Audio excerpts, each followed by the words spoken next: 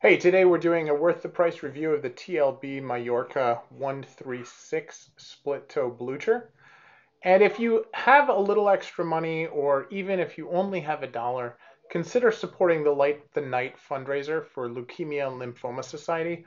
Uh, families dealing with cancer are always looking for support, and this is a great organization that has really touched many people in my life and is worthy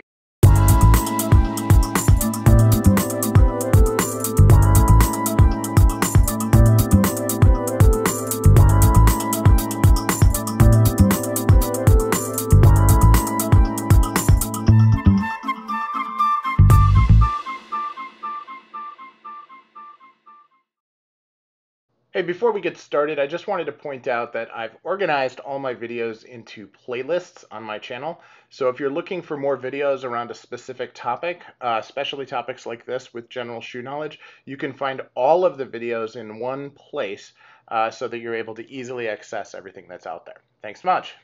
Well, hey, and welcome back. This is Wisconsin Shoe Guy, and today I'm here to talk about a very cool pair of shoes that I got from TLB Mallorca. This is the 136. Now the 136 is a split toe blucher uh, in this really really super soft uh, suede.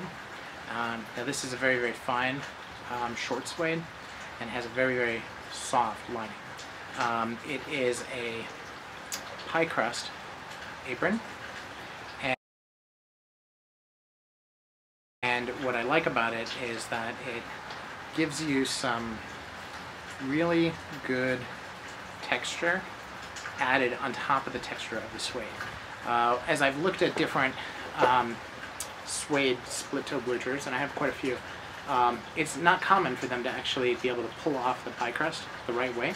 Uh, as a matter of fact, even at Edward Green, where they're known for like the beautiful skin stitch, uh, with the suede, they generally do it a little different. And I think that this is just something that I, am really happy with the way that uh, TLB has done it. And, um, you know, it's subtle, uh, but it is, uh, it, is, it is quite a good looking shoe. Uh, beautiful cutting. Uh, they've got double lines of stitches throughout. Um, some nice um, swan neck, and uh, which is on a derby, which is always interesting as well. And just a, a beautiful, beautiful execution. We've got a nice last on this. This is on the Goya last. Um, and these have lasted trees that, that uh, I bought with them as well, uh, which is nice. Now, as part of the Artista line, uh, one of the things that's really cool about these is the narrow waist. And, um, you know, I think that they've done a, a really nice job on that. Um, you'll be able to see the wear in some of the pictures that I'll include here uh, to be able to uh, bring it all together. But, um, you know, this is, uh, you know, $400 shoe uh, $440 shoe, something like that, depending on the exchange rate.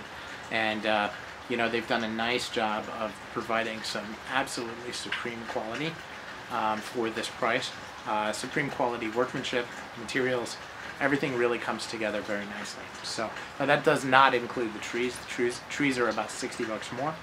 Uh, but uh, and you can see the the sole wear on this particular city sole um, is really really interesting. It kind of looks almost like shadow as a, as a wear pattern, um, and the uh, of course the texture on the soles themselves are, are still good. So uh, very nice, very nice uh, fiddleback waist on a on a, on a on a rubber sole and a narrow waist, which I've never seen on another example before.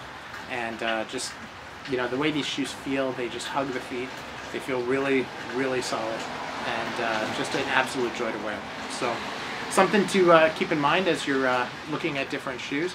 If you're into the split toe, give the 136 a gander. Uh, and if you're really quite brave, try them in suede.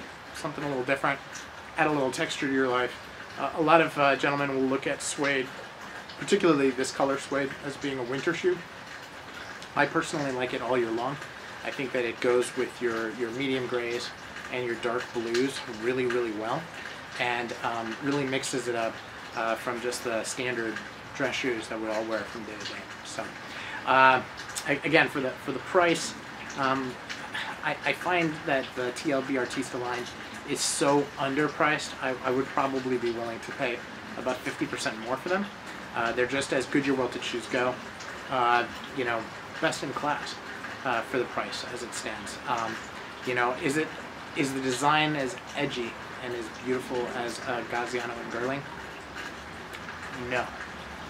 But uh, it is a beautiful, beautiful, well executed shoe uh, that has many of the uh, characteristics of your much higher end shoes. So definitely um, economical, um, well made, um, and a high end shoe for not a high end product. So this is Wisconsin Shoe Guy, and that is my review on the TLB 136.